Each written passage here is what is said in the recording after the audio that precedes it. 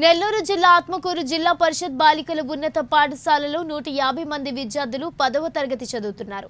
రాష్ట్ర ప్రభుత్వం కరోనా ప్రభావం వలన పదవ తరగతి విద్యార్థులకు పబ్లిక్ పరీక్షలు రాయకుండా ఉత్తీర్ణత ప్రకటించడంతో విద్యార్థులకు మార్కులు కేటాయించడం కోసం పాఠశాలలో సిబ్బంది పదవ తరగతి ప్రారంభం నుంచి విద్యార్థులు రాసిన యూనిట్ పరీక్షల మార్కులను ఆధారంగా విద్యార్థులకు మార్కులు కేటాయిస్తున్నారు. బాలికల ఉన్నత పాఠశాలలో విద్యార్థులు రాసిన యూనిట్ పరీక్షల్లో వచ్చిన మార్కులను ఆన్లైన్లో ఇష్టానుసారంగా మార్కులు అప్లోడ్ చేశారని విద్యార్థుల తల్లిదండ్రులు ఆరోపిస్తున్నారు. ఈ విషయమై పాఠశాల ప్రధానోపాధ్యాయులు శ్రీనివాసులను అక్కడ సిబ్బందిని నిలదీశారు. వారి మధ్య వాదోపవాదాలు కూడా జరిగాయి. విద్యార్థుల తల్లిదండ్రులు మాట్లాడుతూ తమ పిల్లల బంగారు భవిష్యత్తును పాఠశాల సిబ్బంది నిర్లక్ష్యం వల్ల నాశనమైపోతుందని ఆవేదన వ్యక్తం చేశారు.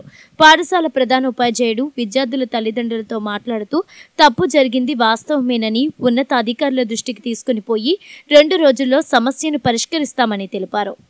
పాప స్కూల్లో టాపరు అమ్మాయి టెన్ పాయింట్స్ వచ్చే అమ్మాయి. ఇప్పుడు వీళ్ళు ఎస్ఏ వన్ ఈ ఫార్మేటివ్లో మార్క్స్ ఏమంటే వాళ్ళు ఎలా అంటే అలా కొట్టేశారు. వాళ్ళు ఇష్టం వచ్చినట్టు కొట్టారు.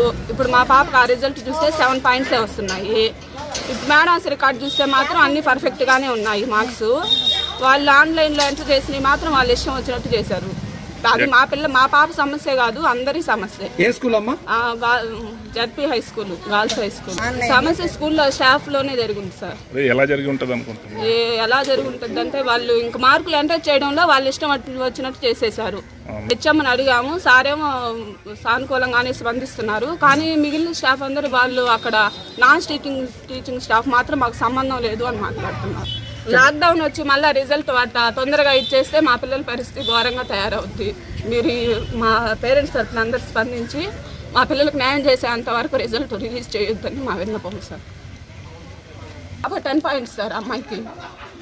ప్రతి దాంట్లో ఫార్మేటివ్లో కానీ ఎస్ఏల్లో కానీ ప్రీ పబ్లిక్లో కానీ అన్ని టెన్ పాయింట్స్ వచ్చినాయి అమ్మాయికి. ఇప్పుడు దీనివల్ల? దీనివల్ల అమ్మాయి సెవెన్ పాయింట్సే వచ్చున్నాయి సార్. మెరిట్ అయిన చేయడం వరకు అమ్మాయి సెవెన్ పాయింట్సే వచ్చింది ఆ అమ్మాయి త్రీ డేస్ నుంచి అన్నం కూడా తిల్లా ఏమన్నా అయితే ఎవరి బాధ్యత? నా పేరు ప్రభావతి.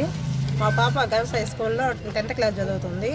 అమ్మాయికి మార్కులు అంటే గ్రేడ్లు వచ్చాయని చెప్పి చెప్తే మేము హెచ్ఎం గారి దగ్గరికి వచ్చి అడిగాము.